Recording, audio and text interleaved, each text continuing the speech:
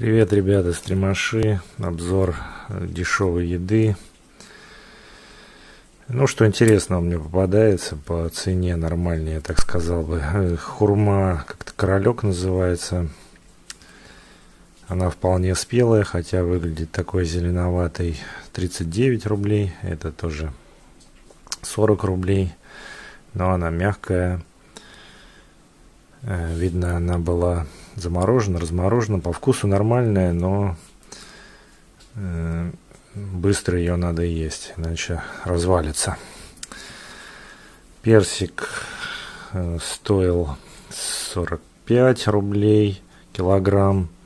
Ну, как бы скидка была там с 65.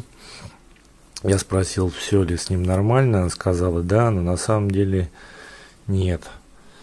Она обманула продавщица, как обычно у него э, кожура горьковатая, то есть кожуру надо стирать, там гнили никакой нету, червяков внутри, но кожура горчит. И, конечно, уже сладости нет такой, как у свежих.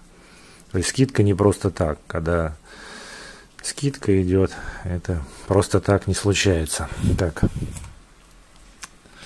Ну, это этот же королек, он просто быстро мнется. То есть его тоже надо быстро есть.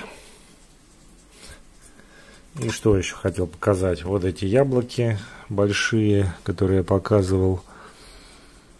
Чилийский Крис Пинк. Э, просто примечательно, что цена у него 39 рублей. Хотя в магазине такие по 100 рублей стоят.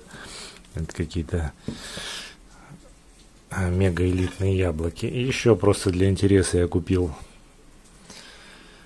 э, Роял Гала, тоже чилийское, сладкое яблоко. 45 рублей стоило. Роял Галы даже в этих лентах, по-моему, 100-120 рублей. Оно без дефектов. Дефекта вообще нету здесь. Ни внутри, ни горечи, ничего как вот с этим персиком. Он все-таки не просто так. Он еще вот в темных подтеках таких, которых не отмыть. Ну, на этом все. Пока, ребята. Подписывайтесь, ставьте уведомления.